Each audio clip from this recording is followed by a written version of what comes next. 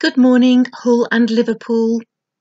Today, in our third lesson about animals, we're going to be thinking about a very special kind of mammal. That mammal is a human being. And human beings have got parts of the body that we know quite a lot about. Can you remember when we talked about parts of the body and we labelled a picture of a person? When I click on a picture now, see if you can shout out the name of that part of the body before I show you the answer. So what am I? What is this part of the body? If you shouted out head, well done. Ready for the next one. What am I? Arm. What am I? Leg. What am I?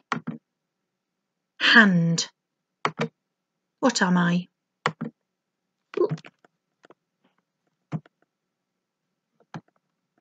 Let's see if we can go back to that one because it skipped it. What am I? Foot. What am I? Bit tricky that one, isn't it? Some people might be thinking that's another arm, but it's this little the corner part of the arm that can bend here. It's your eh, L elbow. What am I? It's pointing at two of these.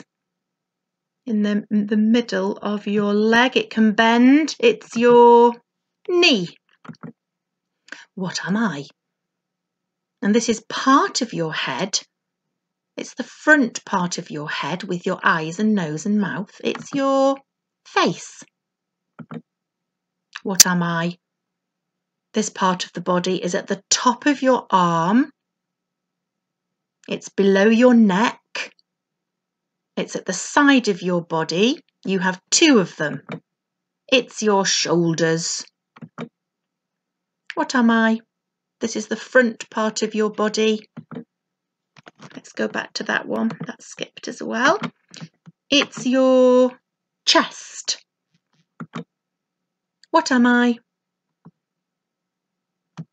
This is your waist. If it was in the middle, you might say that's your tummy or your stomach. What am I? This is your neck. Now, on your paper, you're, you are going to draw a picture of your body. What parts will you include? Maybe you'll start drawing your head first and add on the features such as your eyes and your nose and your hair and your mouth, then maybe you can draw your neck. Remember to include two shoulders and your arms with your hands and fingers, your chest and your waist, and then don't forget your legs and your knees and your feet and your toes. See if you can label parts of your body. So we've talked about some in this lesson, but perhaps you can think of some more. This part of your leg here, above your knee, is called your thigh. This part of your leg here, at the front of your leg, is called your shin. So you might think of other parts of the body that we have not mentioned today. So see if you've got a pencil to do your drawing.